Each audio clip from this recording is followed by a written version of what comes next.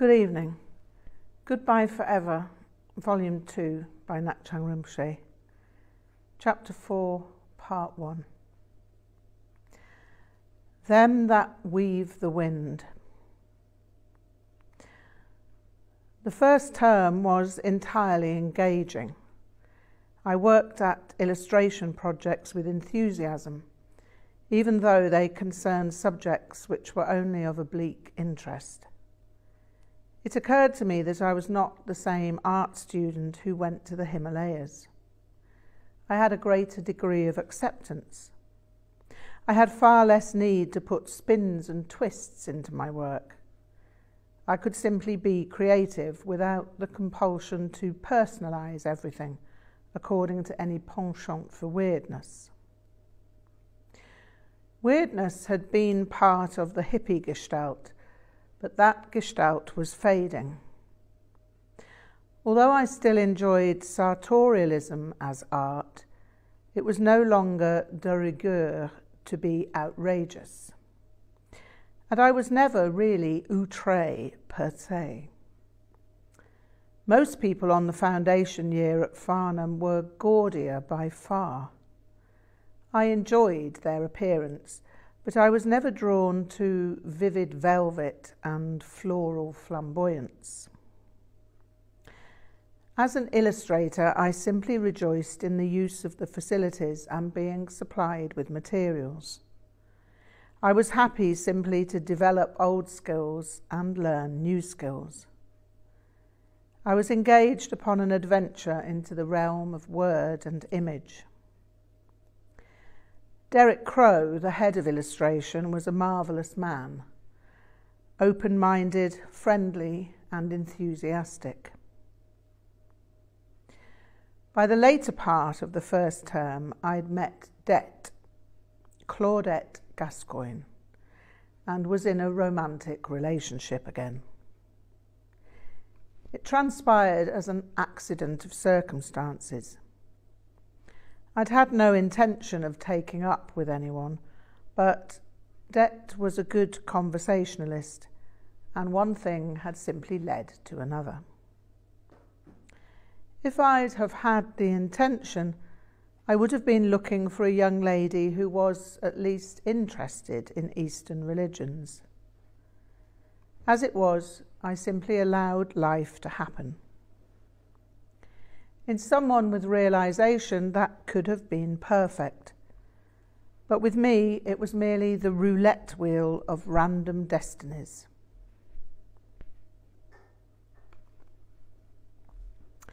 Det was a highly cultured lady. She loved attending the three Bristol theatres. Her plan was to become a theatre wardrobe designer, and she had thus chosen the fashion and textiles degree course at Bower Ashton. With everyday contact, our relationship blossomed rapidly. Det was intelligent, highly witty, in Dorothy Parker mode, and a walking, sitting, and otherwise lounging book of classical quotations. She sometimes made me feel so entirely plebeian that I wondered what the attraction was for her. I had my own native wit and knowledge of the arts. I had a smattering of quotations, mainly Shakespeare and blues. But beyond that, it was evident that I was a card carrying, primitive autodidact. I'd not attended a private school. I'd never learned Latin, toured museums, art galleries, or theatres. I hadn't sat in prestigious seats at the opera houses of Europe Amsterdam, Athens, Avignon, Bruges, Florence, Geneva, Graz, Lille, Madrid, Marseille, Paris, Rotterdam, Venice, and Vienna. There were others too, but I lost count. Well, I'd been to a few places in Germany and, of course, India and Nepal. The East was probably my saving grace, but for the fact that I'd not seen the Taj Mahal or anything else with which Det had had a passing familiarity. She thought that Kyabje Dudjom Rinpoche, the head of the Nyingma tradition, must be equivalent to the Pope. I'd had no desire to impress her on that basis, but neither could I take issue with her assumption. Is he more important than the Dalai Lama? Det asked. To me, yes, I found myself struggling for words, and to an unquantifiable percentage of Nyingmas, you know, this is not really a question I can answer easily, not briefly, anyway. Well, you begin, and I'll tell you when I know enough for general purposes. Right, I almost sighed. The Dalai Lama is like the King of Tibet, although not in a secular monarchic sense. You see, because Tibet was a theocracy, he was also the emblematic spiritual head of Tibet. He's now the political head of Tibet in exile. The heads of the four schools are, however, not subordinate to him in a definitive hierarchic sense. Each lineage head is supreme in each lineage, and the Dalai Lama doesn't interfere in the separate lineages. I noticed Det glaze over a little, and so I curtailed what could have been a three hours lecture at that point. And Det, slightly grateful, I'd concluded, said, I can see you're an expert on this subject, but I think that is all I can take in at the moment. I think that's all you really need to know, I smiled. I'm far from being an expert, however. In fact, the more I learn, the more I realize there is to learn. I had some notion that she might become interested in Vajrayana. So I thought I should probably be careful with my answers to her questions. My answers needed only serve to allow her interest to grow, as it had grown with Frank Berner. I'd simply answered Frank's questions, and he'd found himself moving inexorably towards the point at which he felt that he could embrace Buddhism. There was no obvious reason why the same could not happen in the case of Det. I was trying to be careful. I'd been advised, in terms of ladies, that I should find someone who would be a practitioner. Well, practitioners were not exactly common in Britain. So all I could hope is that a lady might become interested if I appeared to be a sufficiently interesting result of practice. I could not simply wait for a female Western Nyingma Vajrayana practitioner to appear, as the chances of that were extremely slim. I spent the first term in a bedsit in Chesterfield Road, St Andrews. But before the second term commenced, three friends of Det's were looking for a fourth girl to share a rented house in Hotwells.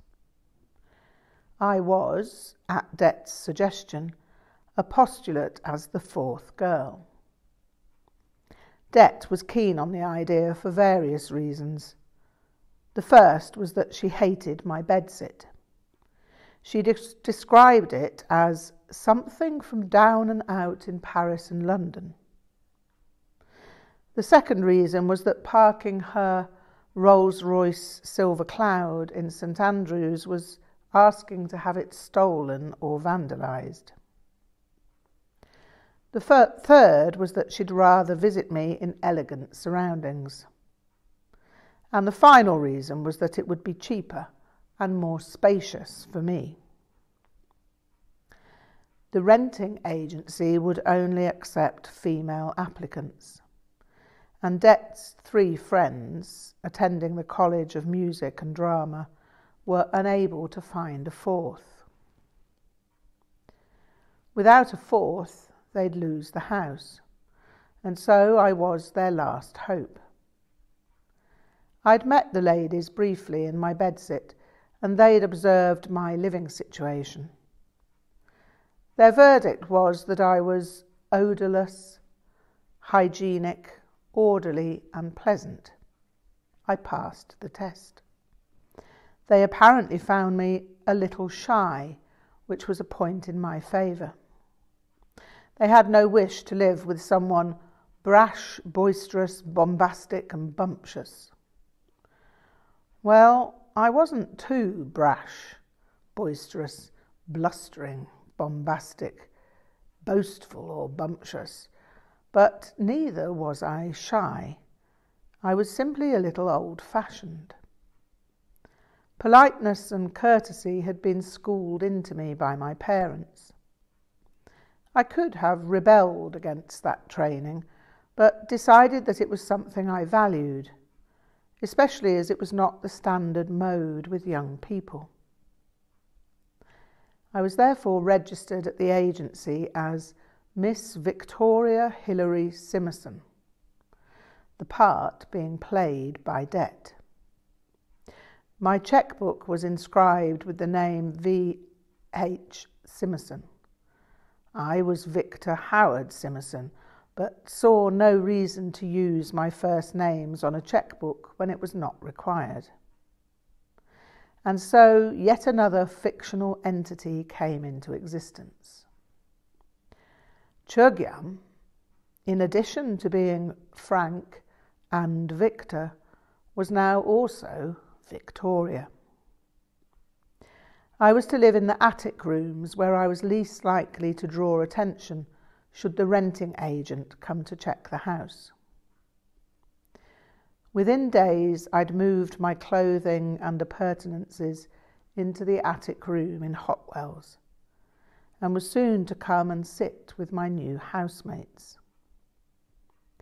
So there I was, sitting in the drawing room of an exquisite house with three young ladies I hardly knew. They were good, long standing friends of Det. Penelope had rather an intimidating surname. Cholmondeley, pronounced Chumley. She didn't like being contracted to Penny, and as I had no desire to contract her, there was no barrier to our friendship. Rebecca and Merrill had names less intimidating, but equally as impressive. Rebecca Albemarle and Merrill Stanhope. They were evidently top drawer, upper circle, or whatever, and I wondered if they'd be anything like Todd, because if they were, I was not destined for a fabulously pleasant time in Hotwells. Todd Welcome and Veranda Nugent were two middle to upper middle class persons on the illustration course. And they'd taken an almost instant dislike to me on the basis that I was a working class upstart with pretensions above my station. Pretensions as to what was not clear.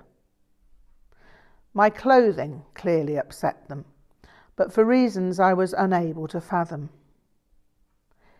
I was later to discover that only rock celebrities were supposed to affect the sort of attire I wore. Dark blue ankle length civil defence greatcoat, emerald green leather jacket and waistcoat, high collared indigo moss crepe shirt, dark brown Cuban heeled Chelsea boots, and the standard Levi 501 Serge de Nîmes shrink to fit button fly trousers, which went with everything. That was an average costume for me at the time. In fact, from 1966 to the present day. My wardrobe has expanded, but it has remained stylistically similar.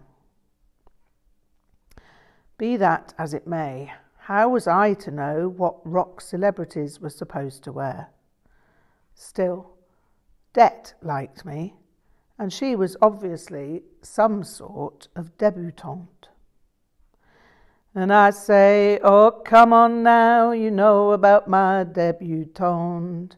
And she says, Your debutante just knows what you need, but I know what you want. Oh, Mama, can this really be the end?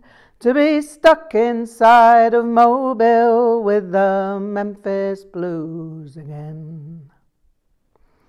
What was a debutante anyway? I had no exact idea. All I knew was that Hotwells was a long way from Bodhanath in Nepal, where I'd studied with Dudjom Rinpoche. I'd have to research the word debutante. I didn't like knowing words by their sound, but having no clear concept of what they meant. I realised it was probably some young lady with a wealthy background, but I was sure it must have some more precise meaning. I checked my dictionary, and there it was. I was none the wiser. A debutante is a person making a debut. From that description, the members of the Savage Cabbage Blues Band were all debutantes on their first gig at Wayford Village Hall. Oh, Mama, can this really be the end? To be stuck inside of Hotwells with Burke's Peerage Blues again. The three ladies sat on the couch looking at me. They'd provided tea. We sat politely drinking it. I remarked upon the weather. They agreed that it was pleasant unusually mild for the time of year, Merrill added with what appeared to be a well hidden grin. Quite so, I nodded. I wouldn't be surprised if there were not a few croci to be seen. Merrill's grin then became slightly more visible. You have an impeccable sense of the Latin plural. Then they all burst out laughing, and Rebecca said, we're all sitting here sounding like something out of Jane Austen. And I'm sure she would be proud of us, as would King Richard II. Then I quoted This royal throne of kings, this sceptred isle, this earth of majesty, this bar of Mars, this other Ealing, demi paradise, this fortress built by nature for herself against infection and the hand of war. This hippie breed, this samovar, this precious tea set in a silver urn, which serves its office to us all, or as a cake delicious to a mouse, against the envy of less grand demands, this blessed teapot, this hearth, this tiffin, this England. I didn't expect a literary soiree, Merrill giggled. No one expects the literary soiree, I replied, a la Monty Python, with mock drama. Oh, that's too funny, especially this hippie breed, this samovar, Penelope laughed. I can see we shall be quite jolly here. I hope so, I replied but thought, when can I have a cup of coffee? I hadn't got round to telling them that I didn't really drink tea that often. I was a useless Englishman. I drank coffee, black and strong, with no sugar. It was a custom I'd developed staying with relatives in Germany. Tea was fine, in fact, preferable with a big fried English breakfast Cornish pasties, or Christmas cake. But for all other purposes, give me coffee or give me death. The English drink tea all day long, it seemed. A pot of tea is brewed almost every hour of the day, but after my morning pint of coffee, I go over to fruit juice, half and half with carbonated water. The ladies had been in residence for a week before I moved in, and now we were having a get acquainted soiree. It had felt a little like an interview with the three of them facing me till I used the unnecessary Latin plural of crocus. Things eased out at that point, but there was still a slight feeling of wariness. I decided to launch forth again. I'm glad to be here, I commenced. It's a lovely house, so thank you very much indeed for being willing to take me in. My bedsit was somewhat grim so it's nice to have a room that's not multi purpose. I'm glad to see the last of the wretched oh so cool and the evil baby Belling, too. An oh so cool, Merrill laughed. What's that? Where ignorance is bliss, 'tis folly to be wise, I laughed. It's some sort of attempt at refrigeration. It's a nasty plaster box lined with zinc. It has an aluminium door lined with polystyrene, which is supposed to keep the heat out. The vile object has a depression, apt word, in the top into which you pour a little water every day. That's supposed to lower the temperature of the inside of the box. Does it work? asked Rebecca. Not as far as I could ever tell. But then I never tested the inside and against the outside with a thermometer, so I suppose I'll never know. I'd say that if it was cooler inside the box, it could only have been a degree at the most. Get thee behind me, Satan, I say. That made Penelope laugh, and I was delighted to have broken the ice again.